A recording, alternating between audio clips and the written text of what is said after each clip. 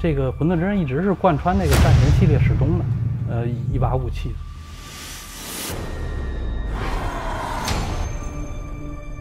混沌之刃它是一把炼刃，呃，可以召唤火的刀，对我自己的意义特别大。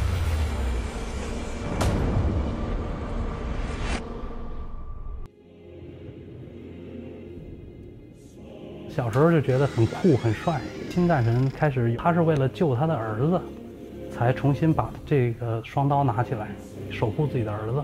自己也有孩子，所以这个，在一个父亲眼里，觉得是很感动。这个情节对我触动很大。游戏里的兵器可能更多的就是代表或者承载这个游戏人物自己的背景，还有这个整个游戏的文化。啊，它不单单是一个冷兵器。锻造是从去年三四月份开始的，从最早用木制品，是因为我觉得它非常好加工，慢慢要提升一些，就是用铝制品，它毕竟是金属嘛，铝制品到后来又不能满足我的效果，所以我锻造工艺来进一步的达到这个质感，主要是想做细做精。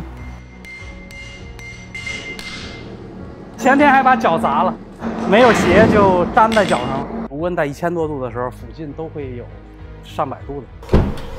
山脉机磨会崩东西，打到这个身上，然后直接从站着给我打躺地下，缓了半天缓不过来。身体方面辛苦，其实是对我影响不大。最难的就是你找不到方法，因为没有人可以传授你这些技能。操作的时候用到的那种技术，都是你可能听都没听过的。看视频，真一真记，翻译软件，一句一句翻译，一点一点学实验，这个过程非常漫长。我那时候就想挑战一下自己，失败了大概五到六次，具体记不清了。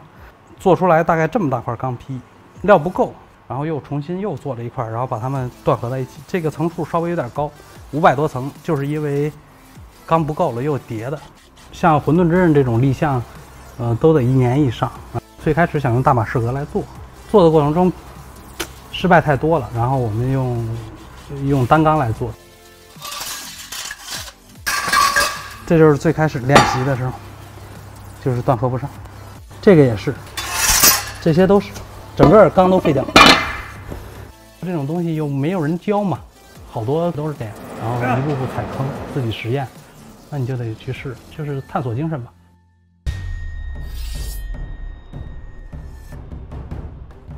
想把这个游戏虚拟的东西变成现实，本身是一个挺有挑战的事儿。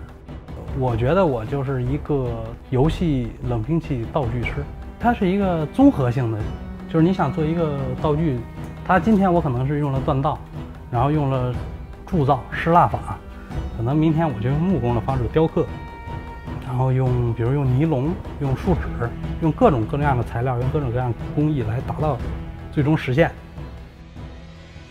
现实生活是很枯燥，我有一个游戏世界，一个第二个精神故乡，然后我把那里边的东西能还原出来，让让我的这些观众，让其他人都看到，让人一眼就看出来像从游戏里拿出来，觉得你很牛。